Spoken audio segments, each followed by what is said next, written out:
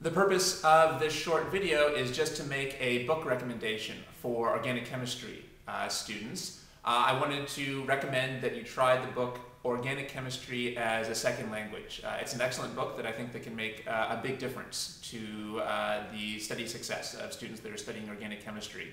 So again, that's called Organic Chemistry as a Second Language. Uh, I don't have a copy of that with me right now, but I believe the author's name is Klein. Um, anyway, uh, what's the best way to obtain uh, that book? Uh, well, you can go to my website, uh, www.freelance-teacher.com slash books.htm.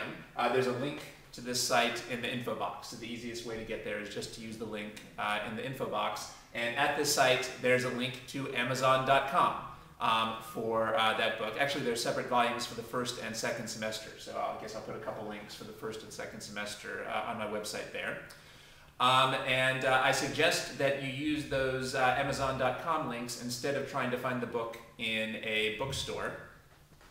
Uh, the reason for that is uh, two reasons. the first reason is that even a large bookstore may not have the book in stock.